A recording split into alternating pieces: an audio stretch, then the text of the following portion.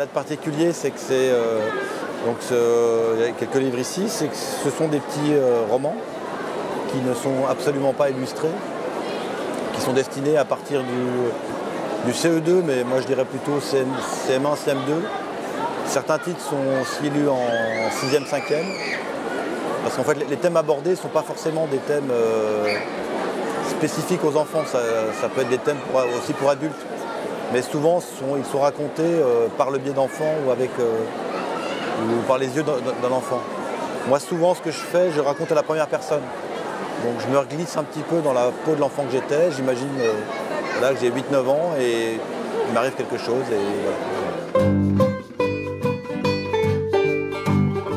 Celui-là, donc, il s'appelle La chasse au papa. Donc là, c'est. euh, alors, bon, il faut savoir que le, papa ou les papas, c'est un de mes thèmes. Enfin, on va dire favoris, mais c'est un thème qui revient souvent chez moi. Donc le père, l'autorité, enfin l'image du père.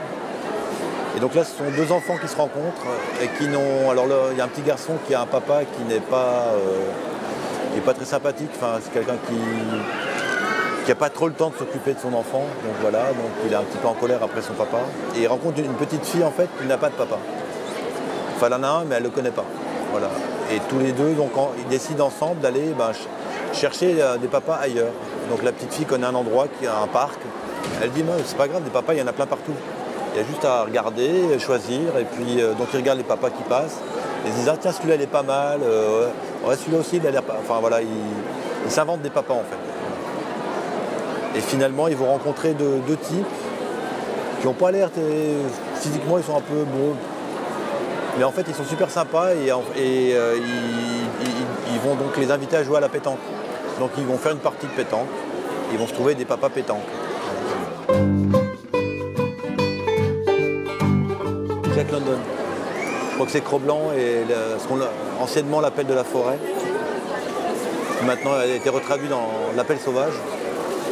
Euh, sinon je me. Peut-être moi c'est surtout des bandes dessinées.